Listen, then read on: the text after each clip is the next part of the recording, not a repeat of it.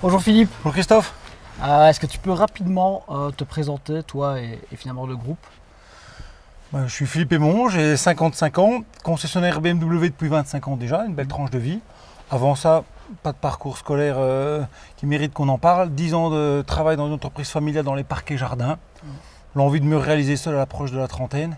Et l'achat des, des deux premiers garages belges euh, à l'époque qui euh, faisaient 125 autos par an, 3 millions d'euros de chiffre d'affaires et avaient 9 employés. Puis pendant 25 ans, ben, un développement euh, toujours maximum qui euh, aujourd'hui fait que le groupe ben, est réparti en, deux, pôles. Un pôle français avec 5 concessions et euh, 1055 voitures, 105 employés et 80 millions d'euros de chiffre d'affaires. La partie belge, elle, se développe en association avec un très grand groupe suédois euh, et qui couvre maintenant Belux.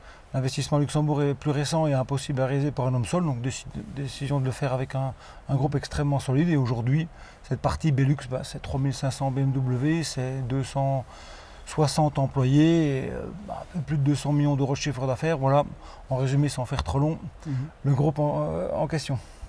Ok, très bien. Donc aujourd'hui, on est ici à Arlon, hein, euh, très belle concession qui a pas mal, euh, pas mal changé cette année. Oui. Bah, Arlon est un petit peu le, le- le cœur historique, on va dire comme ça, important. Arlon, dans son évolution, a subi différentes phases, mais a eu euh, récemment un- une phase d'investissement plus forte pour se mettre au dernier standard du constructeur. Alors Arlon, c'est aussi ici que tout a commencé pour, pour nous, hein, pour Flipback, puisque finalement, vous avez été un peu notre source d'inspiration, je vais dire, euh, avec ce projet.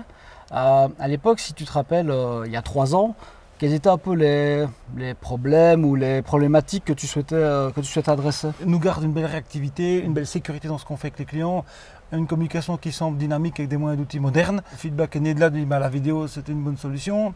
Les éléments qu'on retrouve dans Feedback euh, en termes d'information au client, d'obtention, d'autorisation de lui euh, dans un, un délai assez court et tout ça, bah, répondaient à ces difficultés qui, qui se présentaient maintenant qu'on a quelque chose à faire. Pour faire plus simple, un client qui met sa voiture le matin, on découvre un problème qu'il y a dessus, il faut arriver à joindre le client, il faut arriver à obtenir son accord pour l'investissement que ça représente après avoir fait le devis.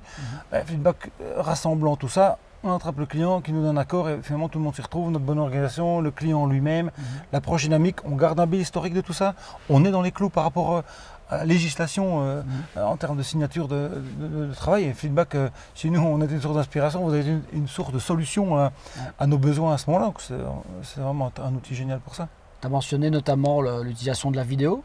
Est-ce que tu Oui. penses que c'est vraiment quelque chose de différenciant qui permet de, de convaincre plus facilement le Oui. client, de- d'expliquer mieux? Oui, évidemment, le client reste toujours un petit peu méfiant de tout ce qui peut vite coûter cher dans ton vie. On me change ça, je ne suis pas là pour le voir. Et ce sont des freins euh, dans la tête du client à un moment donné. Et qu'est-ce que Feedback apporte pour, euh, pour finalement le, le travail du, du conseiller de service ici qui euh, avant doit contacter le client par téléphone. Aujourd'hui, envoie plutôt directement l'information sur le smartphone du client? Ben, le le conseiller de service, lui, dans son rôle, il reste l'intermédiaire entre le garçon qui est à la mécanique, qui n'a pas le contact direct avec le client, hors ce qu'il mentionne dans la vidéo. Mhm. Et euh, une fois que le, mécano est occupé à produire, il a fait sa petite vidéo, il a commenté ce qu'il y a derrière, ben, complète la, la proposition par rapport au à la demande technique, avec les coûts et tout ça, et la demande d'autorisation. Et une fois qu'il a tout ça en main, il envoie au client. Ça arrive sur son smartphone, tout le monde est collé à son smartphone. Si on fait un appel, il faut encore être Ouais. disponible. Le smartphone, on regarde, hop, on clique sur une autorisation et tout est parti. Le temps est gagné, le client est joignable plus facilement, on s'organise mieux, comme je l'ai dit. Voilà, on s'y retrouve comme ça. Donc, personne n'a perdu son rôle avec Feedback, mais tout le monde peut maximaliser euh, ce qu'il fait en termes de- de qualité.